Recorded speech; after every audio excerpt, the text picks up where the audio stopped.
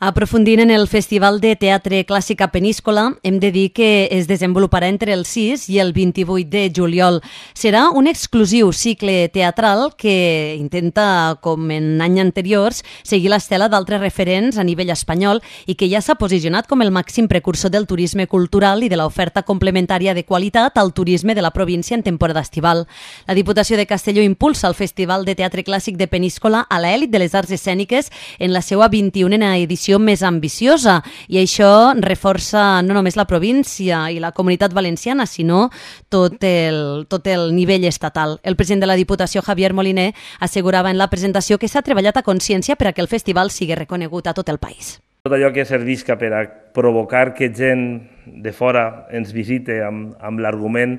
de, de la qualitat eh, provocarà que Castelló siga més conegut, i que puguem lograr fidelitzar aquest públic de cara al futur. I em consta que en l'àmbit de la cultura ho estem fent, ho estem fent també en l'àmbit de la literatura a través de,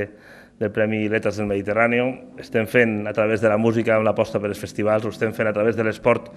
amb el programa Castelló Escenari Deportiu, que enguany donarà cita a més de 400 esdeveniments esportius en la província de Castelló. I en definitiva es tracta de, de no recurrir a, a una publicitat convencional per a, per a divulgar-nos turísticament, sinó el de provocar mitjançant la qualitat de programació que cada vegada siguin més les persones que, que vulguin, eh, tinguin ganes de vindre a Castelló i que una vegada sí ja s'encarregarem nosaltres d'enamorar-les de, per, a, per a que es queden.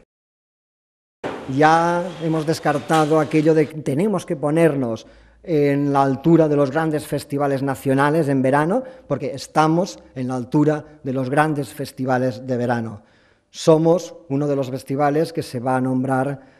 para no perdérselo durante el verano y eso nos llena de orgullo.